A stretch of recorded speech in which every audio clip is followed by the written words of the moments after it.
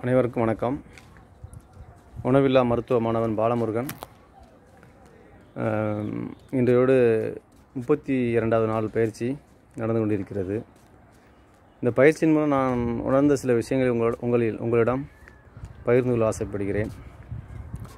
எப்பொருள் யார் யார் வாய் கேட்பினும் அப்பொருள் மெய்ப்பொருள் காண்பது அறிவு எனும் திருவள்ளுவருடைய வாக்குக்கு இணங்க ஒரு உண்மையான விஷயத்தை நாம் தெரிந்து கொள்வதற்கு ஒரு தேடல் தான் மிக மிக முக்கியமாக இருக்கிறது. அந்த வகையில் நான் என்னுடைய தேடல்கள் மூலம் பல இடங்களில் பல வைத்தியர்கள் மருத்துவர்களை சந்தித்தும் எனக்கு இருந்த சில வியாதிகள். வாதம் என்கிற வியாதி குதி குதிங்கால் வலி அதிகமாக இருக்கும். நடக்க முடியாது ரொம்ப சிரமமாக இருக்கும். அது மட்டும் இல்லாது வாயு சம்பந்தமான விஷயங்களும் உடலில் ரொம்ப க அவதியுற்றேன். காலை எழுந்தவுடன் எழுந்து நேர நடக்க முடியாத சூழ்நிலையில் என்னுடைய உடல்நிலை இருந்தது. இப்படிப்பட்ட நேரங்கள் இப்படிப்பட்ட பிரச்சனைகள் நான் இருந்தபோதும் அதிகமாக வைத்தியம்ங்கிற முறை பார்த்தேன் மருத்துவமும் பார்த்தேன். எதுவுமே எனக்கு ஒரு பூர்ணமான குணத்தை தரவில்லை. ஐயாவினுடைய காணொலியை கேட்டேன். இனியன் ஐயாவினுடைய காணொலியை கேட்டு அதில் அவர்கள் கூறப்பட்ட சில விஷயங்களை நான் உள்வாங்கும்போது இந்த உண்மை பொருளை நாம் தெரிந்து கொள்ள வேண்டும் என்று ஆர்வத்தில் ஐயாவுடன் தொடர்பு கொண்டு இன்றோடு முப்பத்தி ரெண்டு நாள்கள் பயிற்சியில் நான் பயிற்சியில் நான் இருக்கிறேன்.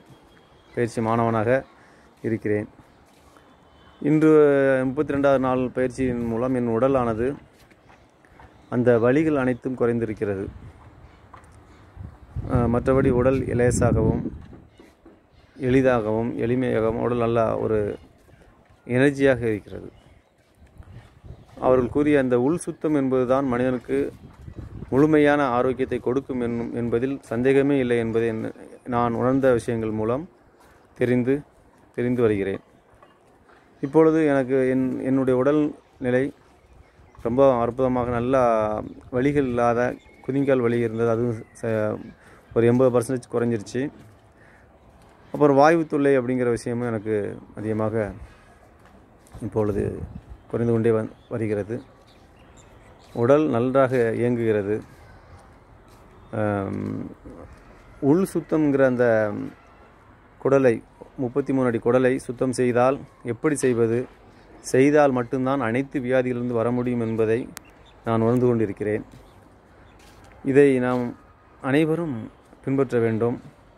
இதை அனைவரும் பின்பற்றினால் மட்டும்தான் வியாதிகள் உடல் பிரச்சனைகளிலிருந்து நம்ம வெளிவர முடியும் என்பது உண்மையிலும் உண்மை.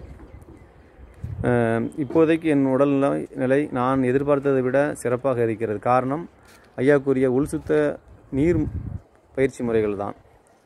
நீரை மருந்தாகவும் காலை முதல் மாலை வரை பயன்படுத்த கூறினார்கள். அதன்படி ஒவ்வொரு உடலுக்கும் ஒவ்வொரு நீர் பயிற்சிகள் என்ற முறையில் கொடுக்கப்பட்டு அது ஒரு ஆசிரியர் துணை கொண்டுதான் உடலை சரிப்படுத்த முடியும் என்பதை ஐயா மூலம் நான் தெரிந்து கொண்டேன். இன்று அதை நான் பின்பற்றி வந்து கொண்டிருக்கிறேன். இதை உலக மக்கள் அனைவருமே இதை பின்பற்ற வேண்டும். ஏனென்றால் இப்போதைய காலகட்டத்தில் பல்வேறு வியாதிகள் பல்வேறு வைரஸ் கிருமிகள் என்று நம்மை அச்சுறுத்தி கொண்டிருக்கிறது. இதில் இது இந்த இவைகளிலிருந்து நாம் தப்பிப்பது தப்பிக்க வேண்டுமென்றால் நாம் இப்பொழுது முதல் கட்ட நடவடிக்கையாக எடுக்க வேண்ட வேண்டியது இந்த பயிற்சி முறையை இந்த ஓக மருத்துவ பயிற்சி முறையை நாம் கற்றுக்கொள்ள வேண்டும். உணவில்லா மருத்துவ முறையை கற்றுக்கொள்ள வேண்டும். இது உணவில்லா மருத்துவ கலையை கற்றுக்கொள்வதுடன் ஐயா வெங்கடேஷ் ஐயாவினுடைய புத்தகத்தை வாங்கி எல்லாரும் படித்துக்க வேண்டும். உணவில்லாமல் வாழும் கலை அப்படிங்கிற புத்தகத்தை ஐயா வெங்கடேஷ் ஐயா அவர்கள் எழுதிய புத்தகம். அதை அனைவரும் வாங்கி படித்துவிட்டு அதை பின்பற்ற வேண்டும்.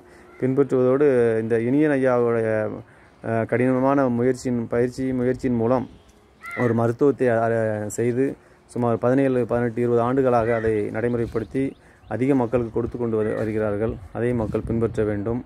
எளிமையாக நாம் வாழ்வதற்கும் செலவுகள் இல்லாமல் வாழ்வதற்கும் இது ஒரு அற்புதமான ஒரு கலை. இது அனைவரும் பின்பற்ற வேண்டும். நன்றி வணக்கம்.